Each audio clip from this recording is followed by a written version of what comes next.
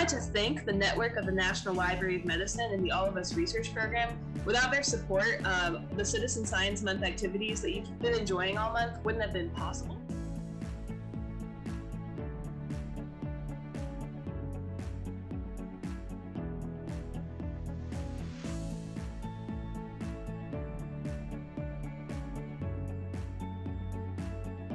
COVID 19 myths have circulated over the last 15 months. Misinformation can be reported. So, if you come across examples of misinformation, you can actually flag and sort of hits home that, you know, we can all play a part in curbing the spread of misinformation.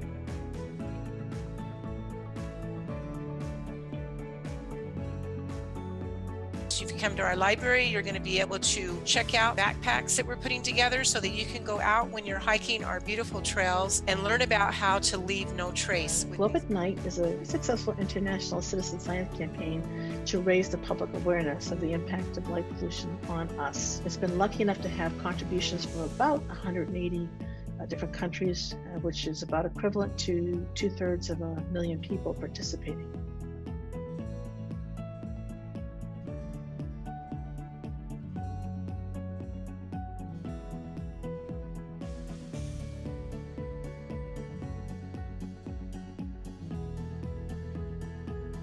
Seventy-six percent of the folks here have not participated in the Citizen Science Project before, which is great. Um, that makes me so excited because I'll be able to tell you about it.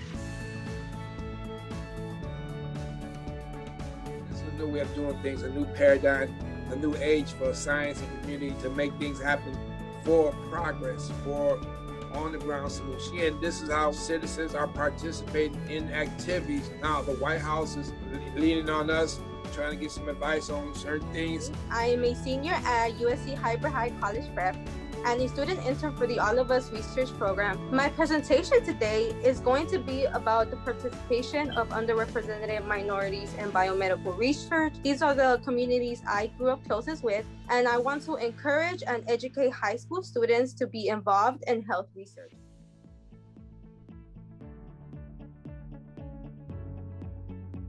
Us is a national research database that is hosted by the NIH that's trying to eliminate a one size fits all approach to medicine, a radical shift in how we are each being received the best care possible. It's used by many different researchers. This is not just one research project. There's many, many researchers that will have access to this information.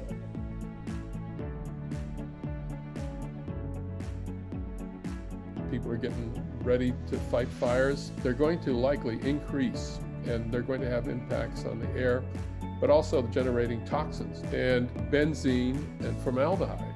So all these things are not just the effects of burning wood, but the effects of chemicals that are in buildings and other places that can be generated by these fires.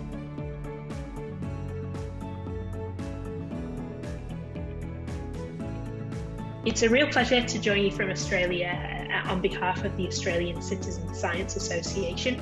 I am the SDGs Research and Training Officer for Unique Mappers. Network Nigeria, uh, we are a leading community NGO of citizen science in Africa. Uh, we're also a partner for SciStarter in Africa. I'm part of the Citizen Science Foundation from Chile. From the Amazon rainforest to the Andean mountains and the Patagonia. To America, it's a thriving place to do citizen science. That citizen science can be used in so many different ways. If you think about it, it's really Citizen Science Year, right? Every day can be Citizen Science Month, but we focus the majority of our efforts on April. So there are over 100 events that different people from all over the world that have added to SciStarter. Many times in our lives, we may be filled with an urge to explore and discover. As we face global challenges, we may want to find local ways to make a difference in protecting endangered species, safeguarding marine systems, preventing disease, or accelerating medical research. Sometimes finding solutions through new discoveries requires a lot more eyes, ears, and perspectives than any single scientist can possess. SciStarter connects citizen scientists from all over the world to over 3,000 projects, events, and tools that folks have added for you to discover. If you're curious about astronomy, you can find a way to do real scientific research about astronomy on SciStarter. If you're curious about biodiversity, you really want to understand plants and animals in your community, You can study that through a citizen science project that you can discover on SciStarter. If there's a science for something, there's a way that you can be meaningfully involved as a citizen scientist.